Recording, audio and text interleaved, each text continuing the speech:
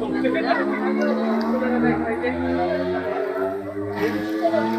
いいんちゃうかな。剣入剣お肉どうぞ。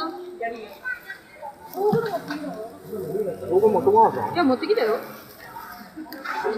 え？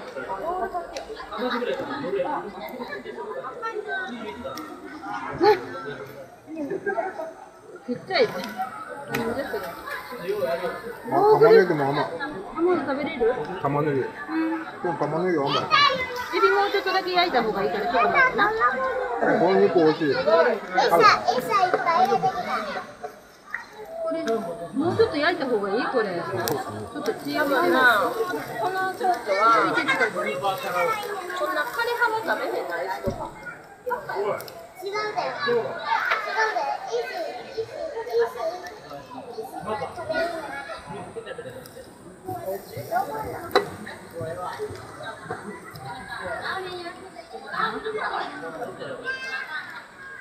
路地の情報ってことこのトゲの尻尾が登録ってなんだよ歌も出てくな。あ本当だよ覚えてる本当？一応焼肉用の豚。うんもういいや。ろいいと思う。け。ど。ちょ後でっと一回そこに置いたら。冷ませ冷ませうん。あっていう。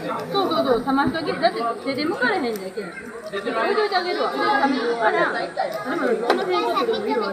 なんてけ。ん。色変わってなさそうなやつは。あれも取らへん。尖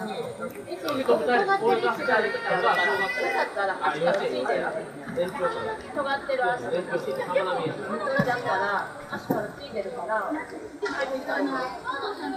これは眠れる袋やから、でも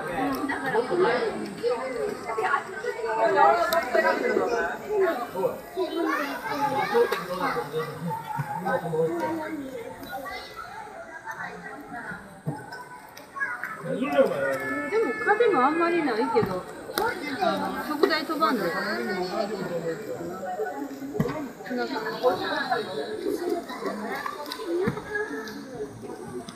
エビもなかなかやから一応置いとくわ。これもこっち置いてるでええかな。いけるよ。後でじゃすごいほら、豚肉の油で。一気にやな、やっぱり。あわあ豚肉だと油すげえうん。やっぱり豚が一番油が。動いてます。